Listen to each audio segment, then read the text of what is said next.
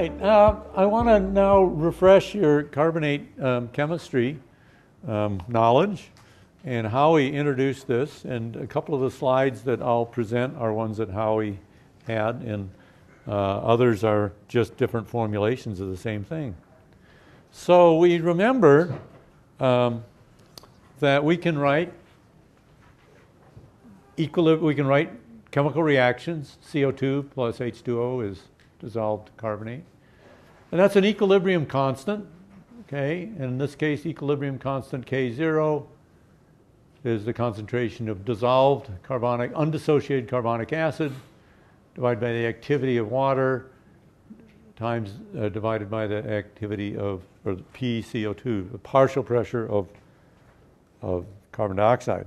Now, these are all in uh, activities, which is the thermodynamic concentration, which is like the real concentration, only a little bit different that you need to correct for. And if you take a class in geochemistry, you'll say, oh, yeah, I remember that. We, we covered that in freshman chemistry. Uh, but if you're taking it in freshman chemistry, you say, oh, I remember that. We covered that in high school chemistry. or perhaps in kindergarten, even. Um, but it is there, even if you've tried to scrub it from your brain. Okay? So these brackets mean activities, which is almost concentration, but it's corrected for things like the salinity of the water and so on. So not so much important. But we have these equilibrium constants, and, and is an equilibrium constant constant? Under certain conditions, yes, and under constant temperature. So these are for 25 degrees, and it's an equilibrium constant because it's a constant. And so we can use all of these things. And the important thing here is that if we know the, the equilibrium constant. We know PCO2. PCO2 for the present atmosphere is 400 ppm. Okay, in log space, that is 10 to the minus 10 to the 0 is a million ppm. 10 to the minus 1 is 100,000 ppm. 10 to the minus 2 is 10,000 ppm. 10 to the minus 3 is 1,000 ppm. 10 to the minus 4 is 100 ppm. So we're about, we're in between 10 to the minus 3 and 10 to the minus 4. And it turns out we're about close enough 10 to the minus 3.5. Okay?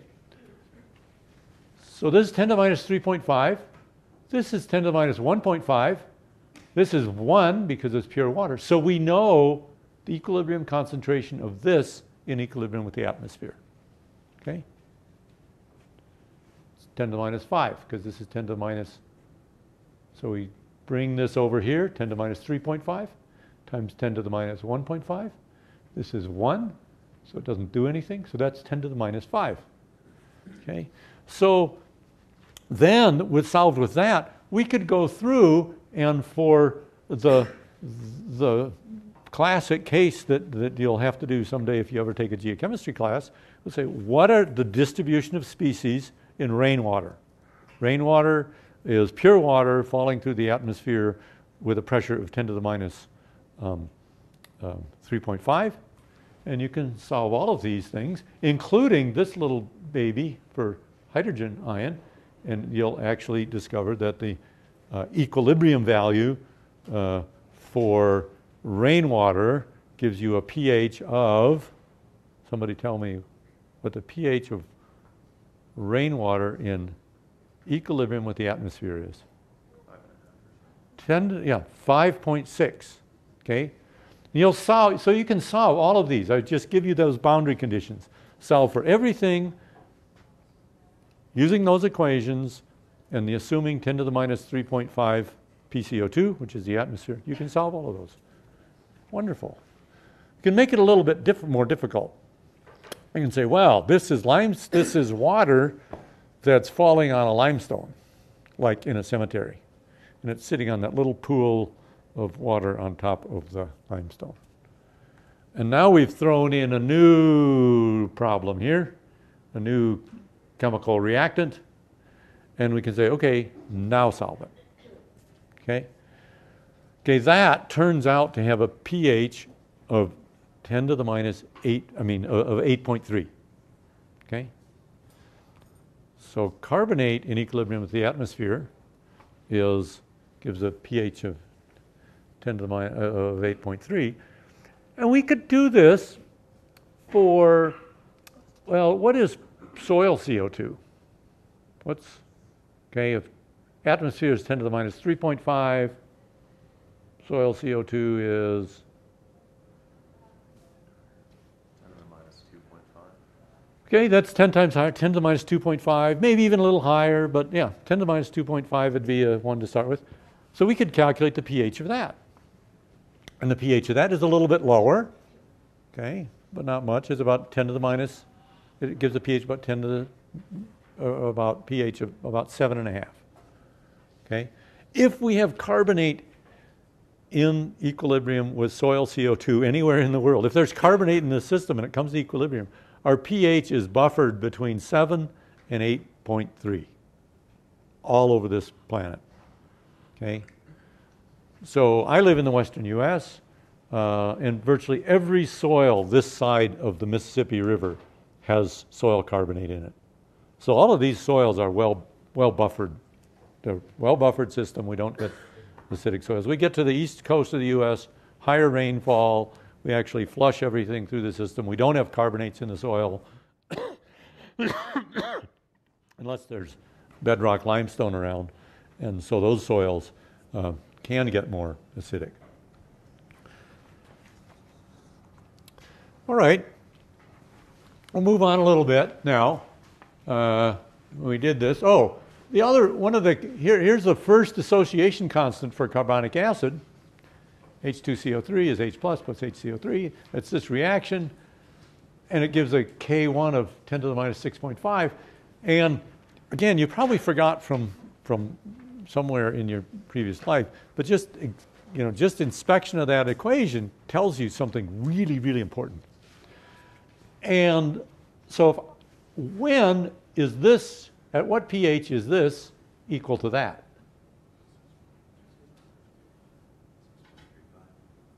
Six and a half, right, 6.35, okay? So that tells you the crossover from when one becomes more dominant than the other. And that is a really, really important piece of information. And you saw this in, in Howie's lecture um, already. Uh, we, here's the, the, same one for the carbonate system, the second dissociation constant. Oh, the crossover is 10.3. So that means at pHs above 10.3, there's more of that than that. At pHs below 10.3, there's more of that than that. And that's how much. So this, I think Howie presented you with this, with this classic figure.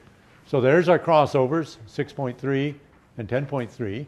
And here's our, so this is pH and relative concentrations. And so what basically between six and a half and 8.3, here we are, six, six and a half to 8.3. If we've got carbonate in the system, then we're dominated by this, by, by the HCO3 ion.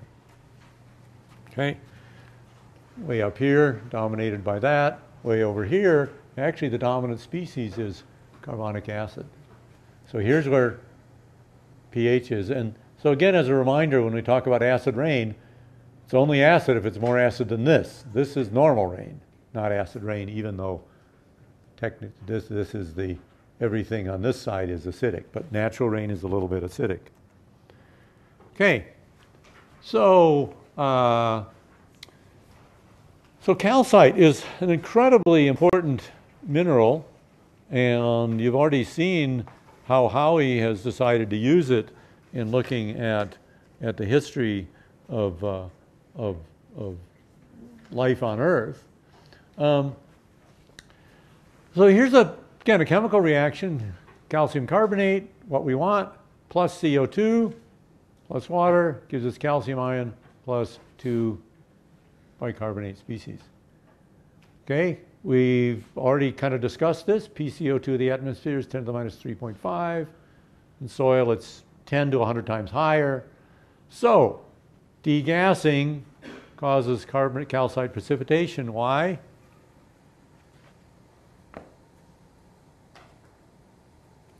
Why does degassing cause carbonate precipitation?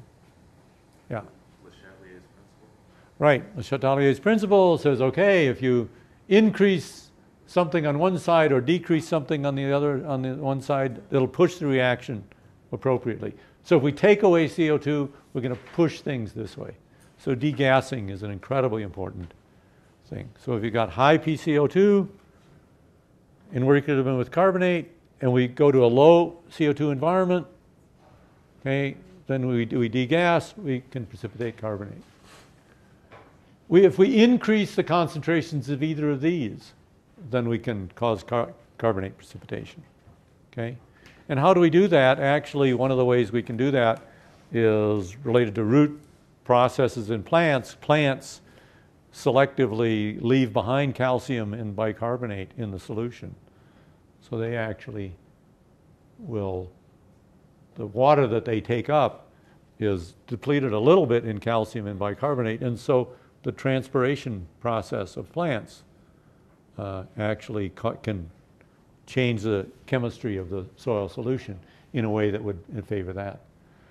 And just water loss, just pure evaporation. So that's actually this process as well, how either it's evaporative loss or due to plant relationship. So we've got several mechanisms to precipitate carbonates.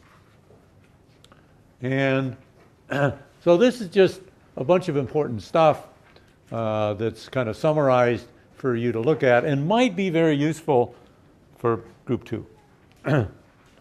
uh, so we can actually see what the equilibrium pH is for soil solution in equilibrium with uh, uh, carbonate. So that's just the solution to, to here's the, all of those equations lumped together gives you the activity of calcium or the activity of hydrogen ion to the third power with all the equilibrium constants and PCO2 is our variable which is to the second power. And that's that line right there. Okay? So that's our equilibrium pH as a function of PCO2 in equilibrium with calcite. Okay? Some other key things. So if we, we, we can solve this for the concentration of calcium in solution. And so we can see here's soil CO2, here's log PCO2, calcium concentration. And so again, we can combine those equations together and calculate this curve. So if soils were here and atmosphere is here, so if we're at 10 to the minus 1, then the equilibrium concentration of calcium is about 3 millimoles per kilogram of water. And we see the equal the, the, at, at, at 10 to the minus 3.5, it's it's about 0.5. So that means that not a little bit of calcium has to come out of solution. Most of the calcium, most of the carbonate comes out of solution. Okay, so the calcium that was in there, 80% will come out as carbonate. Okay. Um, I made coffee this morning, and to do that, I boiled some water. And the water I put in was probably about here. Okay? So I boiled that water, and what did that do to PCO2 in my teapot? What did it actually bring it to? By boiling the water. 10 to the what?